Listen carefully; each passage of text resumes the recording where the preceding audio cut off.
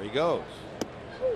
Strike three called. The throw down is late. Votto down to a knee. Didn't And believe Votto- that call. He can't believe it, and he's not going to say anything to the home plate umpire. Scott Barry is behind the plate tonight, but Votto is convinced he's going to go back in and look at it on the video, I guarantee, and realize that Leake may have gotten one on this one. Wow.